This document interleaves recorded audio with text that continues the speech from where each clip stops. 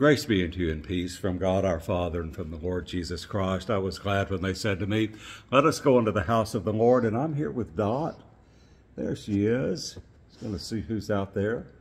She's saying good morning to you. And that's a couple of little sticks for her to chew on today. Or not, whatever she wants to do. She's still a little bit unnerved by this little kitten in our house that is uh, sort of dominating things right now. But uh, this is our brief daily message of hope, and uh, we're making our way through this uh, last full week in the month of September. And I hope that you're in a good place today and that you're uh, experiencing the, the joy and the love of the Lord. And uh, I'm going to play a guitar a little bit today, or at least try to. We'll see what happens when I do this. We go. We are, a little bit different today. I was reading this morning from the book of the prophet Haggai, uh, one of the, the uh, 12 minor prophets uh, who uh, came upon the scene around the year 520 BC with a message to the Jewish people to finish work on the temple of God. They'd worked for 18 years after uh, some of them had come back uh, into the Holy Land from their Babylonian captivity and had worked and had stopped work and uh, Haggai came and said, It's time to finish what you have started. Uh, and he points out to them the futility of sin. And in chapter one of Haggai, it really hit me how futile sin is when we deviate from the path of the Lord and try to find our own way. Uh, we are really lost when we do that. And Haggai was pointing out that uh, you've planted much, but you've harvested little. You have eaten your fill, but you're not satisfied. You have drunk continuously, and you're not satisfied with that. Uh, you have uh, put clothes on, but you're not warm. You have worked hard, uh, and you've taken your money and put it into purses that have holes in them.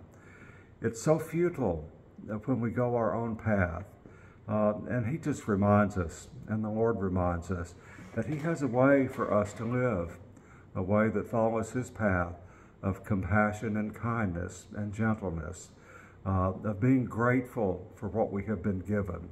I was talking to a friend on social media this morning about how gratitude is truly the key that opens the door to the spiritual life. Uh, the world right now will beat us up.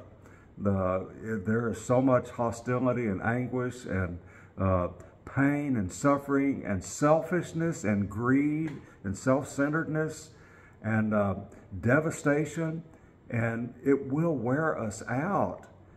But God has a better path for us. We're kind and gentle. No matter what happens, we're grateful because He provides for us, not only for this life, but for eternal life. And we're grateful for that. And when we are grateful, we find out that we have all we need in Him. We walk His path.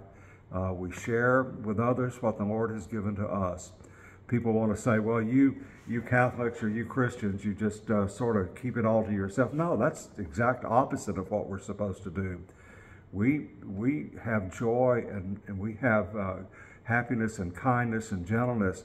We're here to share those. Uh, once we try to hoard those, uh, we lose them we give them back. We give them up to the Lord as we give our thanks and praise up to Him. And He fills us so that we can share with others. I was thinking of, a, of all things, a song that talks about futility. It was a great song in the uh, early 1960s from Bob Dylan called Don't Think Twice, It's All Right, which is the way of following the way of the world.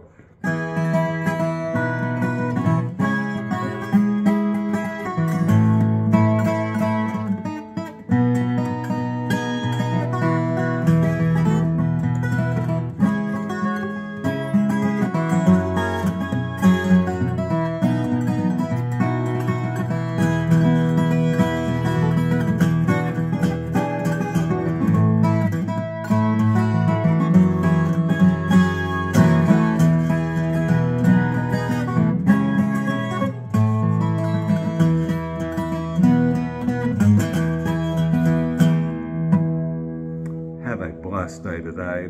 Follow the way of the Lord.